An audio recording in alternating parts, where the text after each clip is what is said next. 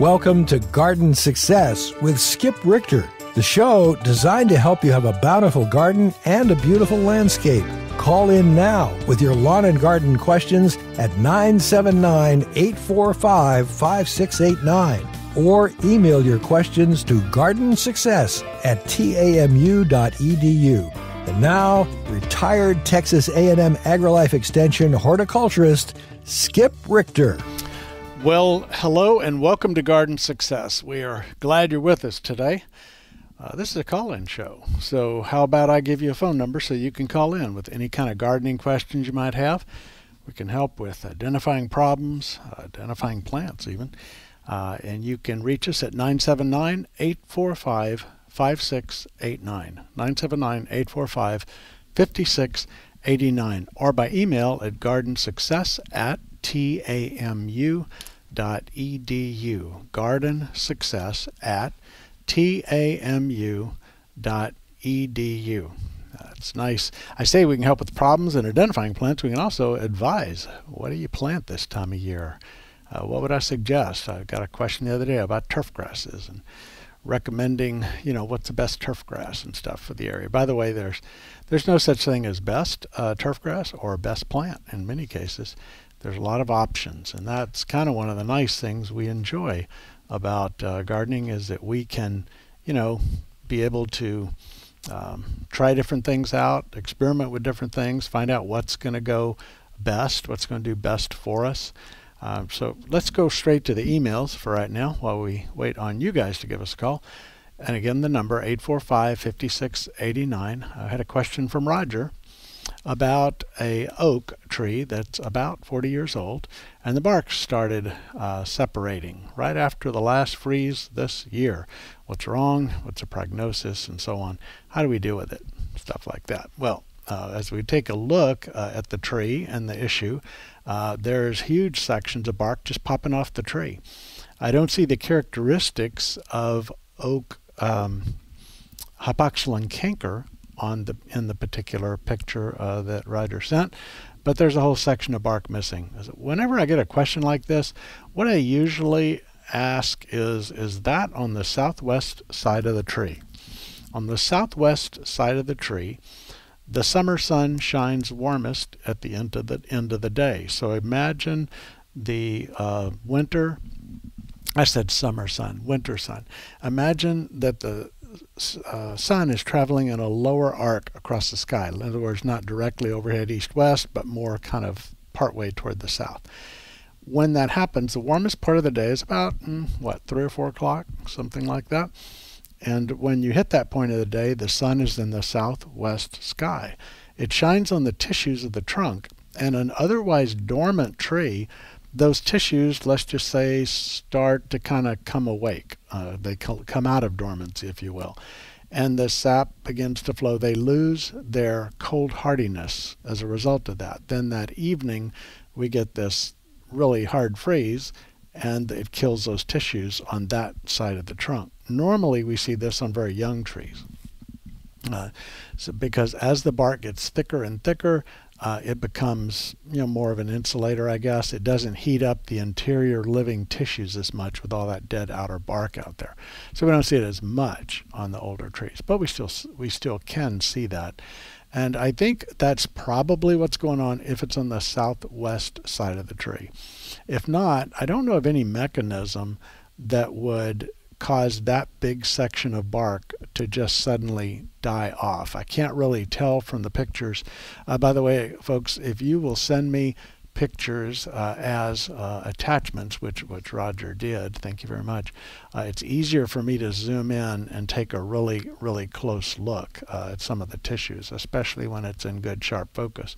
And in in grabbing a hold of these pictures and looking closer, I see evidence of some borer damage. Now, there's different kinds of borers. There's the type that that uh, are part of killing the tree. They tunnel through the living tissues.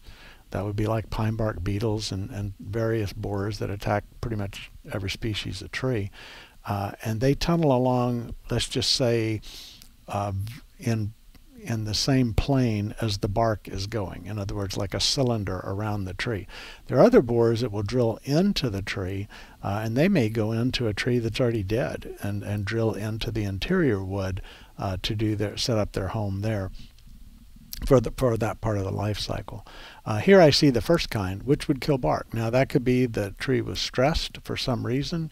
I don't see a lot of uh, exit holes uh, or entry holes, for that matter, uh, in the particular photo that I see. But bottom line is, there were borers involved in this one, so it may have been a combination of cold and borers, or just for some reason the borers took off and went after that particular particular tree generally speaking, a healthy tree is not as susceptible to issues like insect and disease problems as a weakened tree. Each insect and disease, though, presents exceptions to that rule, uh, and so we just have to kind of generalize and say in that. So, bottom line, uh, I think Roger, in your in your case, is just be aware that uh, if it's on the southwest side, I think cold injury was involved but we did have some borers that either moved in early uh, and helped finish that off or that were actually part of the problem from the beginning. Uh, now, what do we do when we have borers in a tree? There's not a lot you can do. Uh, there's not insecticides, certainly, that soak in through the bark. Systemic products, they, they can be somewhat helpful depending on what we're going after, but oftentimes they're not. And without going into the nerdy details, uh, there are different kinds of tissues that go up in the tree and down in the tree, and the borers primarily are feeding in the uh, outer tissues, the phloem, uh, that are doing the damage I see here, and so the, it's hard to get the product to them. Keeping the tree as healthy as you can. Get all the loose bark off. If the tree is healthy, it should be able to begin to um, uh, wall off the area that was wounded and begin to put a uh, callus tissue over from the sides. You probably have seen this where you cut a branch off and after a year or two you're starting to see this slow movement as if a lava flow was coming in from all sides that ends up closing off the wound. We inaccurately say the tree is healing, uh, but that what's really happening is it's just closing off that exposed interior wood space, which is good uh, for long-term structural integrity of that tree anyway, there's there's some thoughts on that one. Our phone number is 979-845-5689, 979-845-5689. A question came in from Cindy with a question about a new weed that's out in the yard. I want to know, is it, um, let's see, now I can't get the thing to go back. I have to reopen it here. Sorry about that. Okay, there. Uh, it looks like uh, poison ivy or parsley or some poison hemlock, excuse me, or parsley. I don't think it's poison hemlock. Uh, there are a number of weeds that have that kind of leaf. Uh, anything in the carrot family, you know, Queen Anne's lace and carrots and uh, all of that kind of group of plants can have that kind of leaves. We have a number of yard weeds that have that kind of leaves. Uh, so I would just uh, say if it's in, it says yard. So if it's in your grass, you can treat it with a broadleaf weed control product. I would do that now, right away, uh, because as the weather heats up and our we start to get up in the mid to upper 80s, uh, certainly the 90s, the products that work best killing broadleaf weeds also take a toll on St. Augustine lawns, as an example. And so we, we like to avoid that. So go ahead and get that work done now uh, with the spraying if you're going to do it. And uh, I think that's probably your best bet. There are a number of products out there on the market that do well. I'm not going to get into all the different brand names. Go somewhere that, that where they a know what they're talking about. In other words, they they specialize in the things they sell to control insect pests and diseases. I'll just leave you with that one. You can figure it out from there uh, and uh, ask them for a broadleaf post-emergent weed killer that is uh, labeled for use on St. Augustine lawns. If their eyes glaze over partway into that request, uh, turn around and go somewhere else uh, because there are a lot of places that sell chemicals but have no idea what they're selling. And I walk a little bit of a careful line here, but I, it it is very alarming to me um, to make recommendations of chemicals to people that don't read the label and may not know how to use them. And I'm not saying that in a snobby way. I'm just saying I witness all the time if a teaspoon is good, a tablespoon is better. And the answer is absolutely not. You overdose a herbicide and you can cause all kinds of problems. You can cause your grass to not root in with certain pre-emergent herbicides that prevents the weeds. Uh, you overdo those and your grass, St. Augustine's running out there trying to put roots down and it can't. I see that a lot and that should not happen. I talked to someone once trying to figure out why is it so bad? Why is the club rooting so bad in your yard? And come to find out, uh, he had a landscaper who who treated his yard. He fired him. He got a new one. They immediately treated the yard. He got rid of them, and then he did it himself and did it again. All right. Well, that's my point. Uh, you got to be careful with that. That is true with broadleaf herbicides. There are broadleaf control herbicides that really stress the grass. And when you wait until it's summer and it's hot and you spray it in the hot part of the day, uh, and then you overdo it, you just open the door to everything from death of the lawn to increase in certain diseases like take all root rot, which kills the lawn. So uh, that's my little soapbox tirade. Read the label. If it's not on the label, it's not legal to be recommended or used on that particular plant. Something may be labeled for one kind of turf grass, but not for another. There's a reason for that. If you were making a herbicide, why not make it for all the turf species so you can make more money selling more of it? Well, there's a reason. Some things you can use on Bermuda that you can't use on St. Augustine, and there are other, many other examples of such a thing. So be really careful. Sorry, Cindy, that was not directed at you. That was directed at, uh, I don't know, a lot of people I've encountered over 36 years doing this uh, that uh, then later uh, I come back and see the problem. just a fun, fun story. one time I was visiting a yard where a guy said, half my trees turned yellow. And I think, okay, trees don't turn half yellow. What's going on? We went out there and you could draw a line through that tree, almost through the middle of the tree actually. Left side green, right side very sick. I mean yellow meaning really yellow, yellow looking leaves.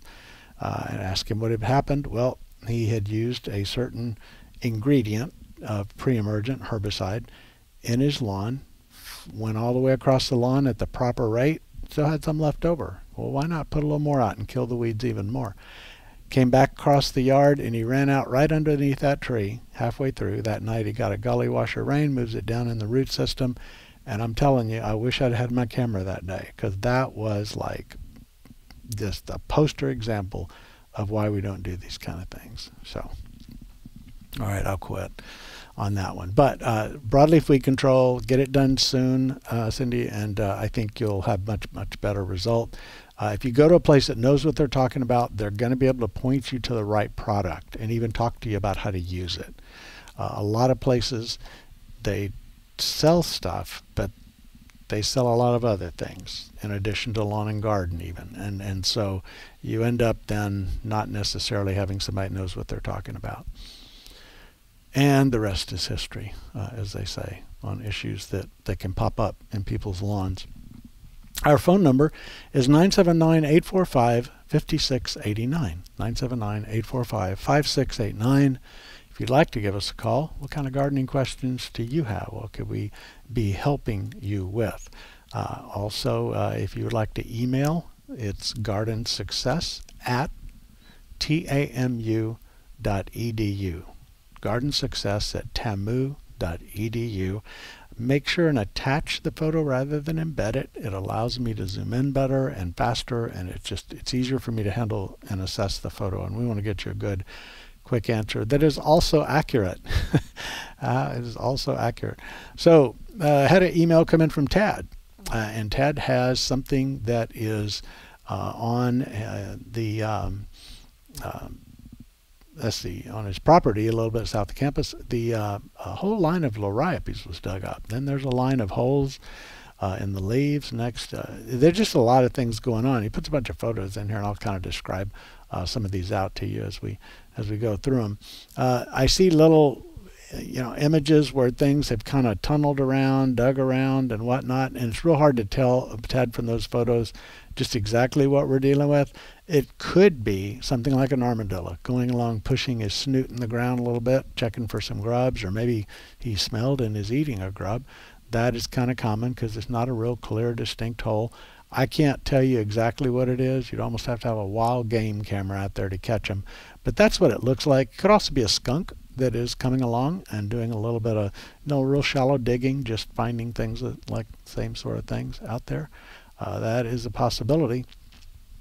Uh, as to the fact that it's doing it around some of your looser and plants, well, I just I just can't tell you for sure on this one. I'm not a wildlife damage expert, but it is going to be one of those kinds of creatures. I'd probably put about 80% confidence in skunk or armadillo in this particular case.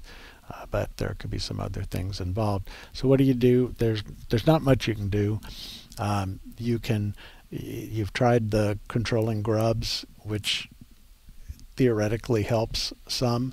Uh, what what I would say is with with the grubs, just remember that something that's going along after grubs is also going along after earthworms, and all these settings. It's a nice mulch, earthy setting with decomposing organic matter. You're gonna have things out there like worms, and so just the grub control uh, treatment alone is not helpful.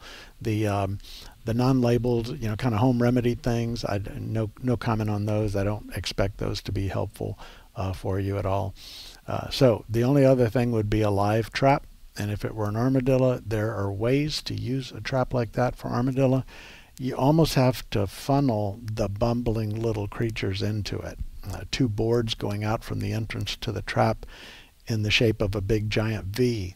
Uh, and so they come bumbling along. Typically, you'll find them going along a fence line or things. Not not at all always, but and so you have to set your trap up like that. If you go to I believe the Texas Wildlife Damage Management Service had some uh, publications that were very, very helpful uh, for that sort of thing. And I'm going to see if I can can look here and, and find that uh, for you. Uh, it, it may be on AgriLife Learn. That'd be my first suggestion is go to agrilifelearn.tamu.edu. AgriLife Learn. Uh, excuse me, learn. Can't type and talk at the same time. All right. Anyway, uh, if you go to agrilifelearn.tamu.edu, that is where all the AgriLife publications are. And there are publications, by the way, if you, this is way outside the question, but you need to know this. If, if you have questions about canning food, if you have questions about 4-H and, and uh, agriculture and farms and ranches and home, uh, certainly the home and garden uh, and critters and all of that. You can find it on AgriLife Learn. Most of the publications are free. Really easy, easy to do. Um, so you just go there and you you type in. Uh, in the case that we're doing right here, I did I typed in armadillo damage. It has uh, a, a for sale publication for a dollar, and then a free publication that you just add it to your cart, you download it, and it tells you all about them. You can do that for other issues, other critter, critters like roof rats and skunks and and other things, or anything else, including all the all the gardening questions that uh, that you might have. So you may want to check that out and get a little more advice there uh, from people who know a heck of a lot more about dealing with wildlife uh, than I do. Uh, let's see, where are we now? Well, let me give you a phone number again 979 845 5689. You know, we had a day where the phones just rang off the hooks and it's spring, and I thought oh, that makes sense. Then we had another day where the phones didn't ring off the hooks. And I don't know if you're out in the garden working or whatnot, but uh, we are we are happy to help if you need something. Uh, had a another question came in from Tad. Um, uh, let's see here. Got a couple of questions if I can pull them up uh, right quick. Uh, he had uh, was looking for palms, um, but uh, kind of wondering if if there's any hope in finding a good, tough, protected palm uh, from a, a, palm that is protected from cold or if there's something you can do. Well, most palm trees are going to get larger, so a, a, building protecting them against north winds is, is not going to help a lot. And on a cold, cold, still night, it's still going to be it's, or windy night, either one, it, there's still going to be a lot of air movement around and not do so well. Uh, now the Sabal minor is a is a good palm. That that is the uh, palmetto, and then there's the needle palm, uh, windmill palms. Those are very very cold palms. But I think one of the best palms that I've seen uh, is is called um, uh, Texas Sabal palm. It's a it's a it's not like a, a short little palmetto. It's a regular sized palm tree, uh, but it it does amazingly amazingly well. And he sent me some pictures of it, and I, if those are still yep those are still alive. I know where those are. Uh, those are probably Texas sabal palms. Uh, Sabal texana. There's also a Sabal mexicana. Uh, that's a similar, very similar looking palm, and those are very hardy. Uh, back when we went through seven degrees in College Station, maybe a little variation where you live, but about seven degrees. That was uh, February 21. Uh, I saw palms just get killed all over the place, and the Texas or Mexican sabals seem to be just fine, including the ones you sent in the picture. That's what those are. So if you want a big palm tree looking palm tree, that would be the one. Needle palm is much shorter. It's multi, there's multi-trunk palms. By the way, needle palm, uh, you need to remember, you need to realize that word needle is in there for a very good reason. Very sharp, sharp spines, uh, like needles, uh, and uh, a little bit of a, a challenge sometimes to get in and try to do any kind of work around. Uh, that would almost be like petting a porcupine to try to prune a needle palm. That's been my experience with them, at least. Okay, our phone number is 71 or 979 845 5689. 979 845 5689. Had a question come in. Let's see here. This one is from Mindy.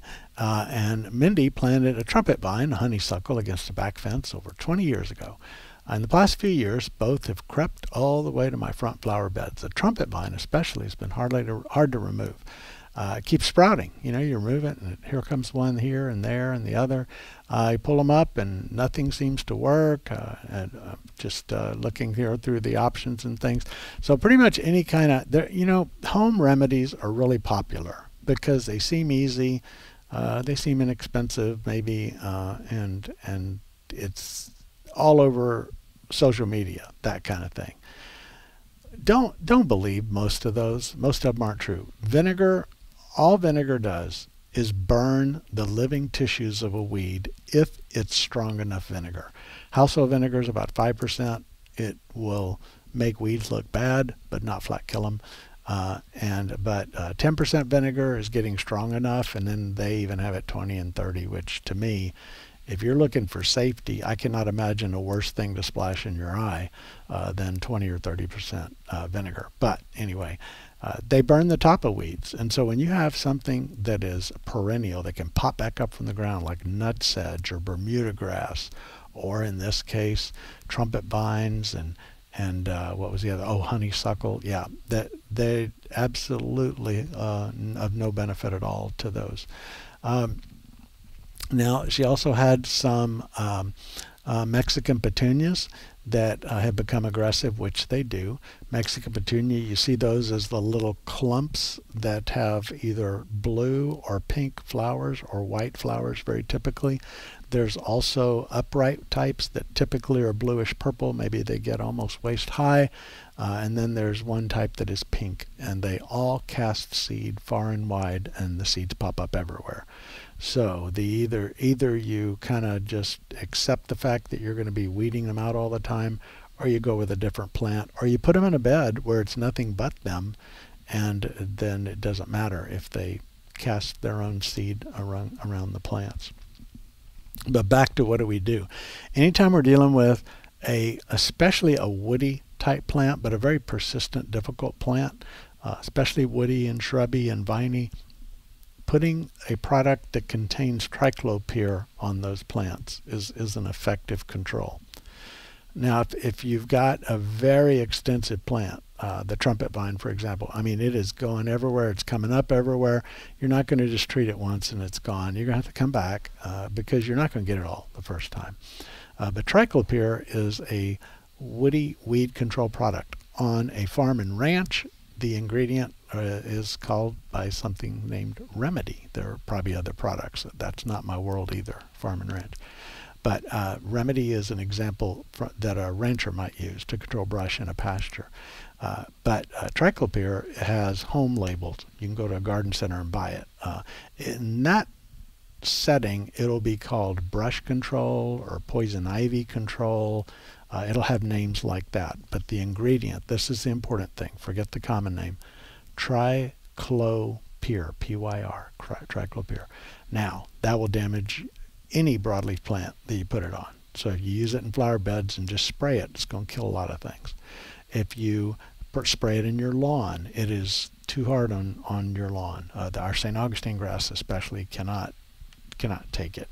So what I would recommend doing is one of two things. Either cut the thing off at the ground above the ground like the little stump, and this would be true if it was poison ivy. It would be true if it's your honeys or your uh, trumpet vine, or if it is hackberry coming up in a fence line. Cut it off above the ground and immediately dab triclopyr right on that cut stump. Immediately, not the next day. You dab it, just I use a little foam brush because it's easy to handle and you can throw it away when you're done. Uh, and just get a little triclopyr on it and dab it right on that stump and it'll translocate down. Uh, sometimes with smaller plants that there's a lot of vine kind of to them and, and it's not as woody, uh, didn't have a thick bark on it. Uh, I can ev- I, I will even use like a weed eater, not to cut it off, but just to kind of wound that outer area a little bit, and then just wipe that on the on the uh, exposed branches. Pepper vine, there's another one that we deal with. is very invasive, and uh, triclopyr works on it. Just remember, it may take more than once. So that's kind of my go-to when I'm dealing with things you don't want. Uh, if you if you're gonna do foliage treatments, just make sure that do it, be very careful. There's no wind to blow it onto a desirable plant nearby. Uh, so that means don't pump up your sprayer to where it's putting out a fine mist that floats around. Uh, and uh, that would be pretty much the end of the instructions on that, Mindy. But uh, I think I think that's going to be the way you have to go about going going after these things. I've never used triclopyr on the um, Mexican petunia. Um, so I, I can't say for sure that it would work on that. Uh, something else that I've done is, and you can you can do this homemade yourself. You know, little tools that you use to grab a jar off a shelf. They're about three feet long. They got a little pistol grip on one end and suction cups or or something to grab on the other end, and it's just like a uh, you, you reach up and you squeeze it and it grabs onto stuff. I've taken those and depending on how much of a do-it-yourselfer you are, you kind of have to figure out how to get from here to there. But I put a, a little metal plate uh, and then um, uh, foam sponges on on those so that it squeezes two sponges together. It takes a little washer and a, a bolt to go through them. Some are designed for that, by the way. Uh, they they have a bolt already in them holding on the suction cup. And you do that, and then you wet the sponge with whatever you want to use. You could use it with glyphosate, with which Roundup is an example brand. You could use it with a grass-only killer. You could use it with triclopyr. Uh, and you just dampen the sponge with that solution and then you wipe it on the leaves. Now with the stump cuts, we're using pretty much the solution just about straight on there because we're just dabbing a little teaspoon onto the stump cut uh, on these small things. But on the other, you just wipe it on leaves, squeeze it on the leaf and kind of pull it up to wipe it onto the leaves. And you can go in among, like one of your pictures is next to an amaryllis there. You could get in there and get on that weed without getting it on your amaryllis. You could uh, you could reach under a rose bush and get it on something underneath there. Uh, so that little tool works pretty good. It's a homemade do-it-yourself deal. All right, well that is I think that's that on that one. I don't know if there's much else to say about it. A lot of people, some of these questions I go into more detail or a broader question than you asked, but I think other people, pretty much everybody listening, probably can think outside to where they have some vines coming up in the shrubs they don't want, or uh, maybe the birds have planted uh, poison ivy or planted hackberry or something in the in the fence lines and trying to get rid of it. Uh, and when you're not a farmer rancher, access to all those kind of things, uh, this is a way you can do it in the backyard and have pretty good results.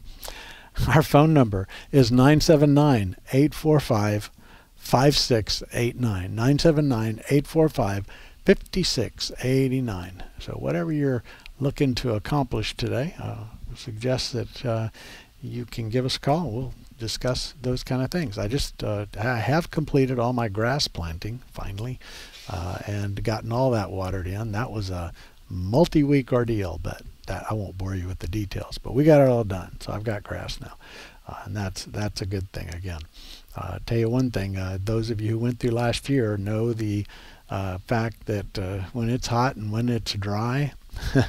there is um, there is a lot of issues that happen to our grass, right? Uh, and as, as, a result, you need to make sure your irrigation system is working well. And I would I would suggest that you just go ahead and have it professionally audited. Now, if you don't want to go that route, you can do a do-it-yourself evaluation that is much less thorough and accurate than a, than a true audit. Uh, but in evaluating it, you would do things like turn it on.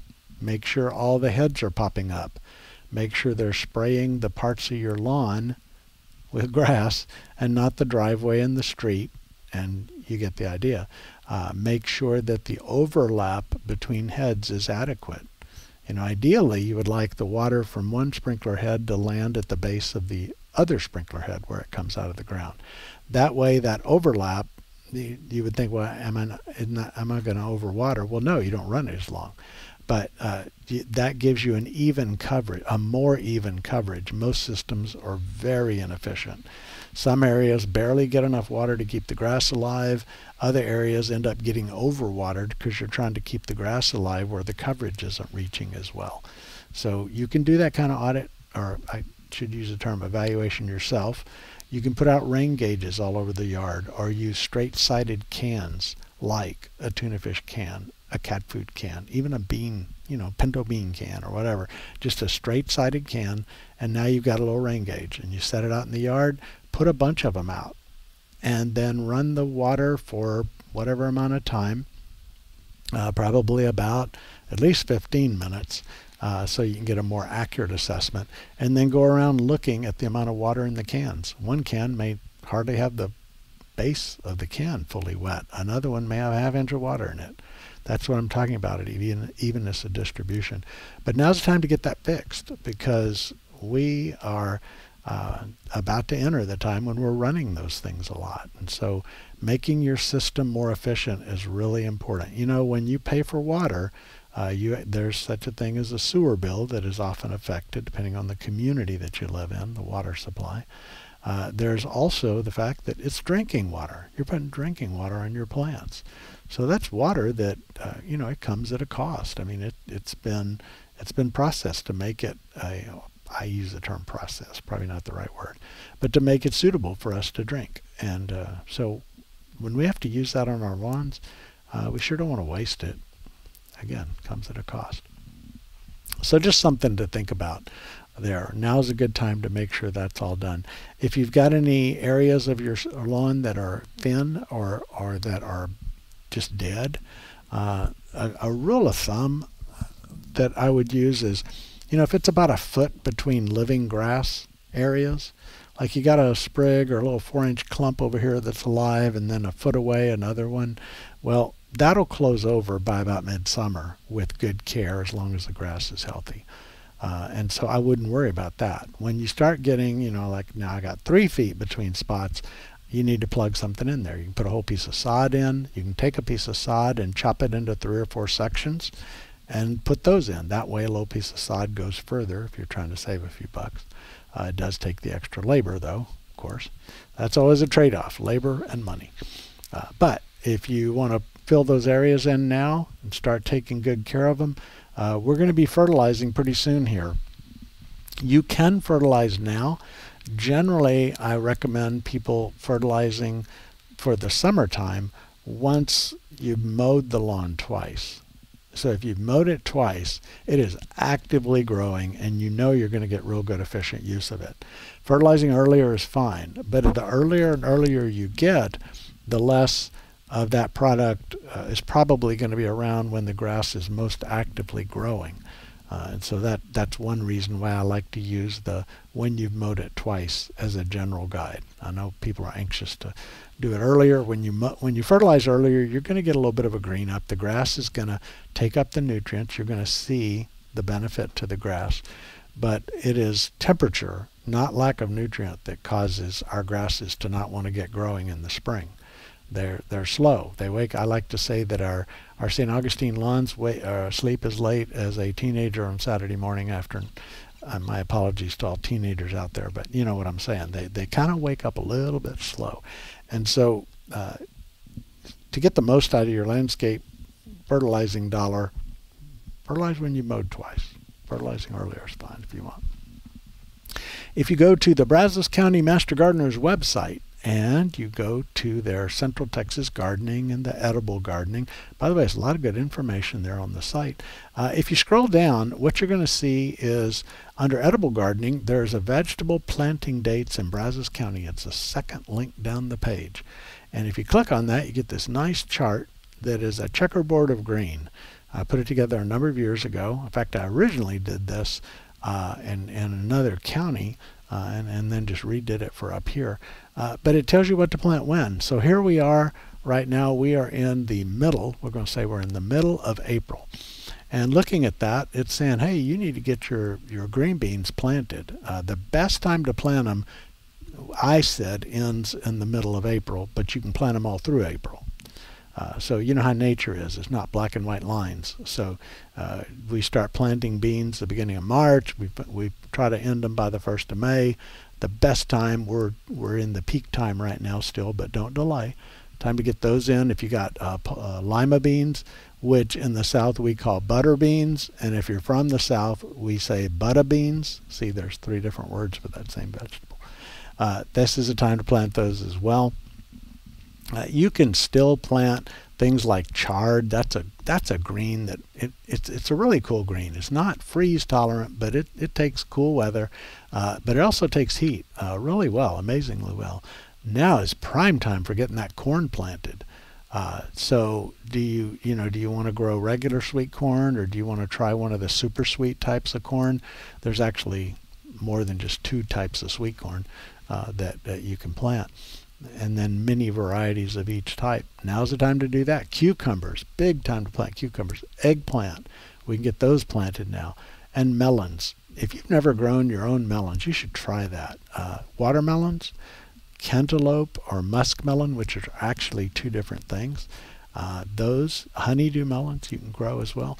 Uh, I like growing my own cantaloupes, and uh, if you've got a sunny spot, you can grow a really nice sweet cantaloupe. Just know this that the day before you are planning on going out and picking it, the varmints will come in that night. That is true. Sweet corn as well. They have clairvoyance. I think they put their ears to the windows of your house and listen to you talk. Say, you know, hon, I'm gonna go pick sweet corn tomorrow morning, and that that's their cue. The word gets out, and all the varmints in the neighborhood attack your sweet corn patch.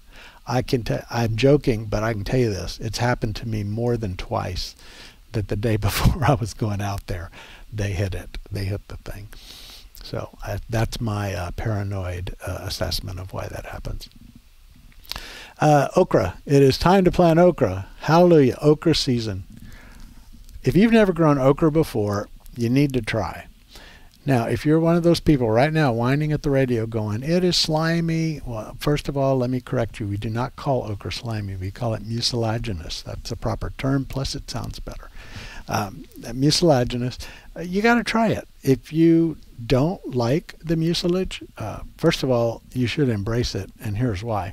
Okra has two different kinds of fiber in it, and, and this is true of other some other plants as well. But okra has a insoluble fiber that's very good for your colon, your intestinal system, your dietary intestinal tract health. Then it has another kind of fiber that's soluble, that's very good for heart health. Uh, and the mucilage is uh, primarily part of that soluble fiber uh, and it helps thicken soups. It, that makes gumbo thicker.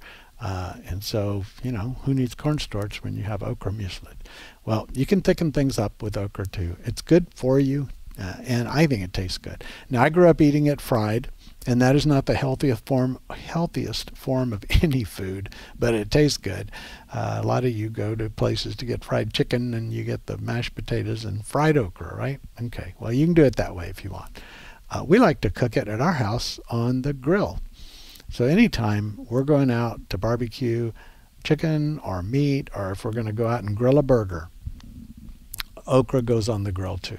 And it's real simple. You pick little pods of it, you brush them with olive oil, sprinkle them with sea salt, and put them two minutes on one side, flip them over two minutes on the other side, you're done.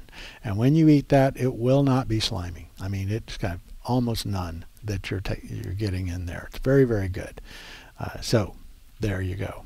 It makes lots of lots of different things that you can do from okra. I could sit here and do a whole show on okra. Those of you who know me or started rolling your eyes, eyes when I said okra the first time because you knew it was coming. But it is good. It is a wonderful vegetable. We ought to grow more of it, and there are great ways uh, to use it, and even to take advantage of the mucilaginous. Remember, you will no longer ever use the word slime when you talk about okra uh, the mucilaginous quality. A lot of uh, we have other vegetables that have that mucilage uh, as well, and especially when it comes to summer greens. Some of the hot weather summer greens uh, have that mucilage in them also. All right, enough about okra. Although I'd really like to keep talking about it. Uh, southern peas. Do you like purple hull? Do you like black eyes? Do you like, uh, let's see, um, Crowder? just went blank on southern peas. Crowder, zipper cream peas. Those are all examples of southern peas. Pink eye, pink eye purple hull. Uh, A&M has even released a number of different southern peas in the breeding program here. And they're great. I love growing southern peas. Nothing tastes the same. You know how we say in our gardens, when you eat something, if you grew it yourself, it tastes better. And sometimes we go, yeah, well, that's because you grew it yourself, you know. But no, when it comes to southern peas, there are few foods that taste that much better when you grow them yourself as if you buy them like in a can, for example. Uh, it destroy. If you grew up eating canned black-eyed peas, I want to tell you about a completely different vegetable. Let's just say it's completely unrelated, although it's not. Uh, if when you grow fresh-shelled southern peas, oh my gosh, it is night and day. If you want to test it out, go find a quality frozen southern pea, and you can get close there uh, on on the quality of it. But you got to grow some yourself. Pretty cool. Peppers, still time to plant pepper transplants.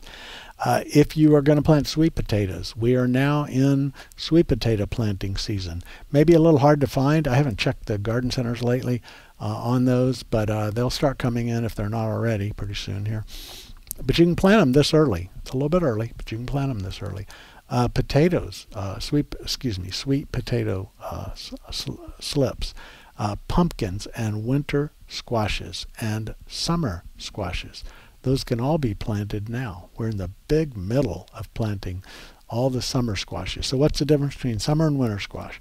Summer squash grows uh, in the warm season, the growing season, we say here.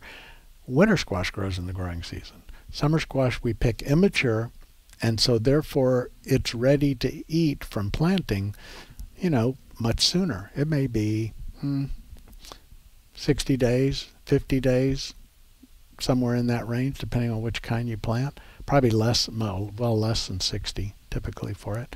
Uh, and then winter squashes maybe 90, 100, 120 days. Uh, it just depends on what kind you're planting there uh, before they're ready. We eat those at the mature stage. So those can all be planted now. Tomatoes, okay, last call. This is it. Uh, get those tomatoes planted ASAP because summer's coming. They don't set fruit in the heat, especially the slicer types. So you don't want to do that. And then finally, warm season greens. I will talk about those on another day because that's a whole nother subject uh, to plant. If you're going to do the cantaloupes and watermelons, you can find cultivars that are a little more compact. I would highly recommend you trellis, especially the cantaloupes.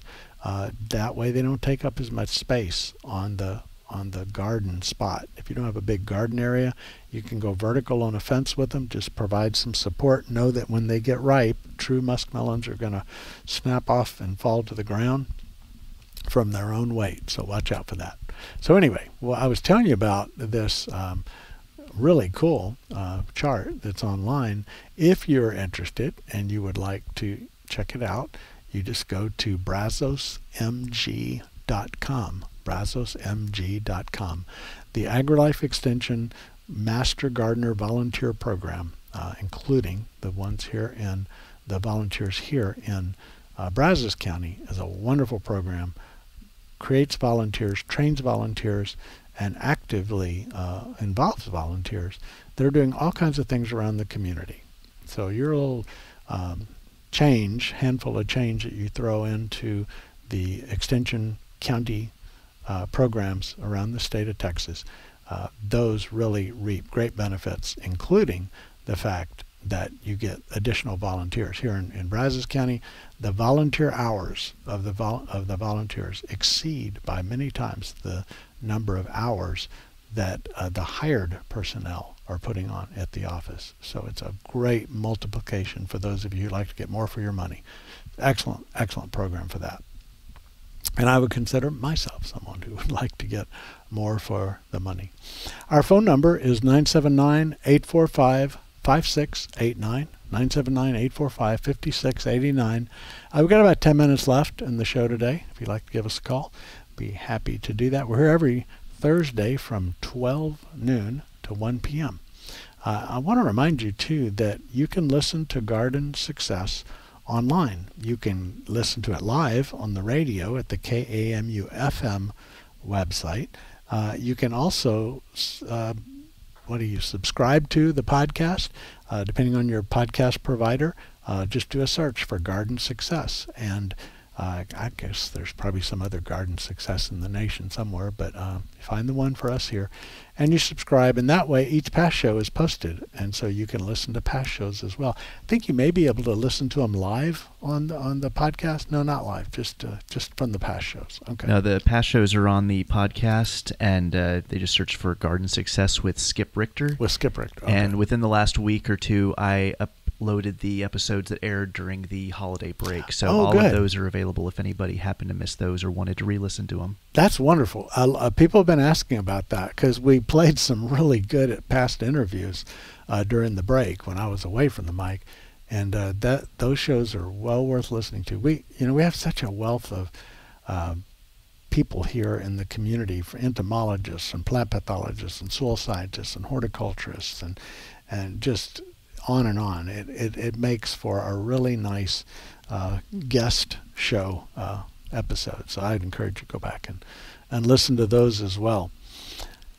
Uh, let's see. I was gonna. What was I talking about earlier? Uh, about the lawns. Uh, it's something that was in my brain a moment ago. Oh, I know what it was. Uh, if you have any pruning that you need to do and you didn't get done this this winter, go ahead and do it ASAP. Uh, the fastest time for wound healing is in the spring, and here we are, right in the big middle of it. So if you get those cuts done soon, they'll begin their healing uh, right away. And it, we don't normally want to wait until now to do pruning, but you can. Uh, there's not a problem with that. So if you've got issues with your tree branch angles or a branch growing where you don't want it, don't wait until next winter uh, because it'll just be a bigger branch, a bigger cut, a bigger wound, and more of the energy put into that branch. It's now going to be cut off and thrown away. Uh, so go ahead and get the final, uh, if you can make it final, pruning done this year. You can prune any sum any month of the year. We just try to mainly focus on that season. Let's go to the phones now. We're going to talk to Colleen. Hello, Colleen. Hello, good afternoon. Um, if you have discussed this previously, I'm sorry I haven't been able to listen for a while, but could you please discuss what is going on with all the juniper trees that oh, I see dead out yeah. in the landscape? And what's puzzling is that there'll be a dead one, and then there'll be a very healthy looking one yeah. pretty close to it. Yeah. Uh, I, I, saw something recently. Dr. Ong, uh, who is the head of the uh, state plant clinic here at Texas A&M, uh, Dr. Kevin Ong, uh, he he puts out a lot of information, you know, both from the plant lab and some of his um, his group there uh, put stuff online, and I saw something recently that there was they were looking into it. Uh, right now, the thinking is still, and I, I would definitely agree with this, that it is a uh, weather-related issue, and so whether it was the the freeze that we had that was so severe, the freeze that we had that caught everything early, which is one that a year ago that killed mm-hmm. all our crepe myrtles back to the ground, or a bunch of them, or and or I should say the drought, the excessive drought that we've had more than once in the last three years, uh, that something stressed them to the point where the the systems collapsed and they just died. Now, why does one live and the next one next to it die? That is just how nature is. I, you know, it's kind of like you and someone else both go to a party, shake the same hands, talk to the same people, and you come home and you picked up the flu and somebody else didn't. It it just is the way things can happen with plants. I see that, you know, with oak trees dying in the lawn, post oaks, one lives, the others don't. It just they're organisms, they're living things, and when they get weak, they are open to issues. The fact that this juniper die off has been widespread but spotty, you know, two trees next to each other, even spotty, mm-hmm. uh, it, it kind of points to there being something other than, well, now there's a soil disease killing them, or there's this insect killing them, or you see what I'm saying? Uh, the symptoms mm-hmm. don't, don't show up as needle blights, uh, which we do have fungal needle blights of junipers and other things. Uh, it just shows up as the whole tree system collapses and turns brown, or I should say bronze. It's kind of a bronzy brown. Yeah, I was just wondering if it was some kind of fung, you know, opportunistic fungus that yeah. was taking advantage of this severe weather, and right. I didn't know whether there had been any testing for that. Well, that's a good question, and like I said, uh, the the folks at the lab are looking into it, uh, Dr. Ong's team. Okay. Uh, but so far, I have not heard anything associated. That's a that is a good question though because you know it, it with uh, oaks and hypoxylon uh, you may have 2 mm-hmm. oaks and one dies and the other one doesn't. The one that died had hypoxylon, but the hypoxylon moved in because it was weak. So I think ultimately it's all going to point back somehow to the weather events, whether it ended up being right. a weakened plant that then gets sick or whatever. Uh, but so far, I don't know of any disease that's been associated with it. Okay, well, you know, I've lived in this area for at least 50 years, and I have never seen it so pervasive. And yes. of course, these junipers are really tough trees. Yes, so they are very tough. It's mm-hmm. yeah. surprising, very surprising. Yeah. Okay. While we're talking well, about it, I'll you. just I'll just say anybody from the lab that might be listening that has any information, including like yeah, we are looking into it or anything that's been found so far, I'd appreciate you calling in. Uh, and thank you very much, Colleen. I appreciate that call. Uh, oh, you're welcome. Thank you. you. Yeah, you bet. Uh, so that that's going to be interesting boy, nature is so that way. It is weird. Uh, I I can remember. Well, I used to live down in the Houston area, and there is a an insect called sod webworm, and to my knowledge, we don't deal with it here. I'm sure it has occurred here sometime, but it's not like an issue each year we might look for.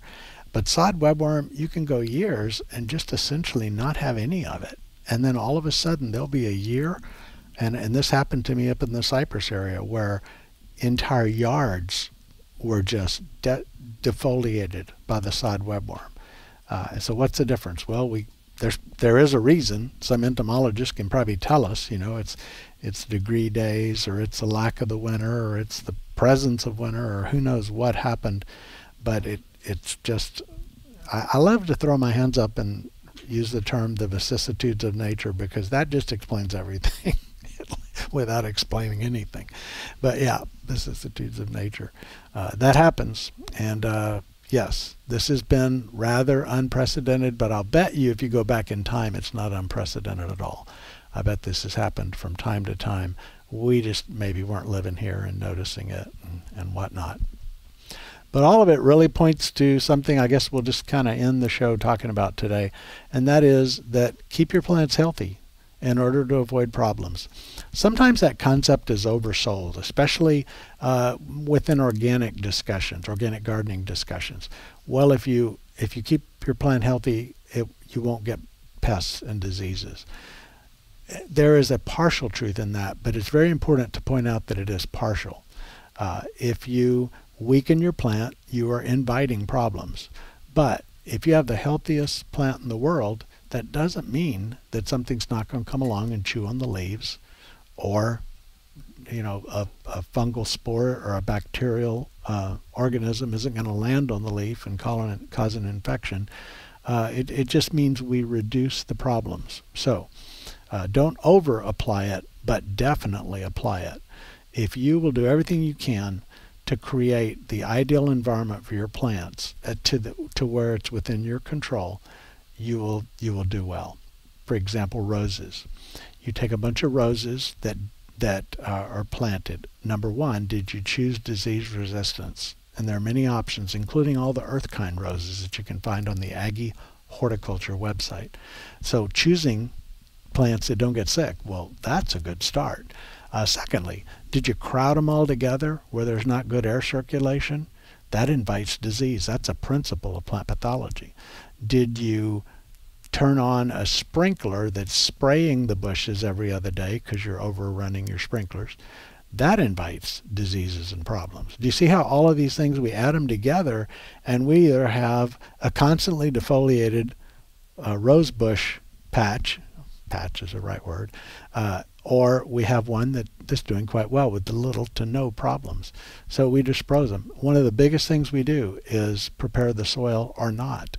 Uh, soil is where plants live and thrive. It is the foundation for success.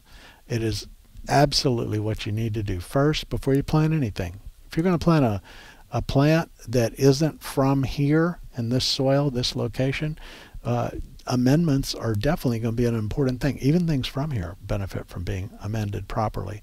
When you do that, the root system holds moisture, the soil does, but it drains. That's very important in places where it rains a lot and where you get uh, heavy clay soils often. Well, preparing the soil, raised beds, increasing organic matter, doing those sort of things, making sure all the nutrients are present in the soil bank account in adequate supplies and ratios in order to support good plant growth. You do all of those things right, and you'll have success. But don't overdo them. Lawns, for example, excessive nitrogen causes the plant to be more top growth and less rooting development, and that's a problem too. See what we mean? Everything in moderation. All right, well, there's advice. I guess we ended with probably what your grandma told you when you're growing up, but it applies to plants as well. You're listening to Garden Success. We'll be back next Thursday from 12 to 1. Uh, we look forward to visiting with you again then.